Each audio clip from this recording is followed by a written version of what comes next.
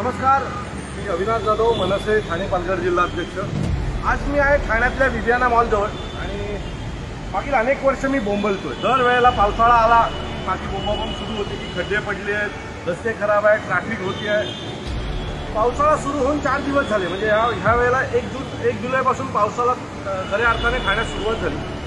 आज तुम्ही बघाल सहा सात जुलै आहे. आणि ठाणं पूर्णपणे ट्रॅफिकमध्ये हे झालेलं आहे. तुम्ही इथून घोडबंदरला गेलात. की पार फाउंटनपर्यंत ट्रॅफिक आहे. तुम्ही इथून जवळ गेलात. तर पार भिवंडीपर्यंत ट्रॅफिक आहे. तुम्ही मागे गेलात. तर मुख्यमंत्र्यांच्या घरापर्यंत ट्रॅफिक आहे. मला एक कळत नाही. ठाण्यात अनेक मंत्री झाले अनेक आमदार झाले अनेक खासदार खासदार झाले. ठाणे महानगरपालिका तीन हजार कोटीची आहे. अनेक गोष्टी आहेत. तरीसुद्धा ठाण्यातली ट्रॅफिक कमी का नाही होत आहे? दर वेळेला सकाळी निघालो. आज मी घरातनं निघालेलो आहे. जवळजवळ साडे अकरा वाजता. साडे अकरा वाजता मी इथलं विवियाना मॉलपासून दहा मिनिटाच्या अंतरावर ठाणे महानगरपालिकेच्या शेजारी जातो. तिथून मला इथे यायला पंचवीस मिनिटं लागली. म्हणजे ठाणे महानगरपालिका ते विवियानापर्यंत यायला मला पंचवीस मिनिटं लागली. इथून मला जायचे वसईला.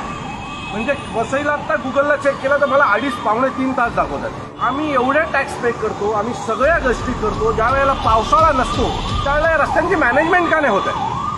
जो ठाण्याचे नवीन मुख्यमंत्री झालेत तेच आधी या खात्याचे मंत्री होते. तरीसुद्धा आम्ही त्यांना त्यांच्याकडनं अपेक्षा बाळगतो की कृपया आम्हा ठाणेकरांना या सगळ्यातनं बाहेर काढा. आता या ट्रॅफिकमध्ये शाळेच्या व्हॅन फसलेल्या आहेत ॲम्ब्युलन्स बसलेल्या आहेत. बाजूला ज्युपिटर हॉस्पिटल आहे. अनेक पेशंट दिवसभर इथे येत असतात. सो जर अशी परिस्थिती या ठाण्याची असेल तर मला वाटतं या ठाण्याला पंतप्रधान पद जरी दिलं तरी या ठाण्याचं आयुष्यात कधी भलं होणार नाही असं मला वाटतं.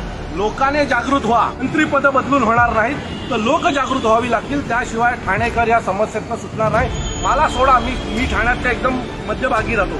पण जे लोक घोडबंदरला राहतात ना त्यांना विचारा की ते दिवसातलं काय भोगतात. दिवसातलं नऊ दहा तास जॉब करून आल्याच्यानंतर दीड दोन तास घरी जायला जे लागतात ना तो त्रास खूप जास्त आहे. मी पुन्हा सांगतो ठाणेकरांनी आपले डोळे उघडा. जे चाललंय यांच्या नाटकाच्या पलीकडे जाऊन जे तुमचे हाल होत आहेत ते एकदा बघा. यातनं जर तुम्हाला सुटायचं असेल तर मला वाटतं योग्य निर्णय तुम्हाला या वेळेला घ्यावा लागेल. नाही तर आयुष्यभर मरत राहिले या सगळ्या ट्रॅफिकमध्ये हे दरवेळेचं आहे पावसाळा याला सुरू झालं.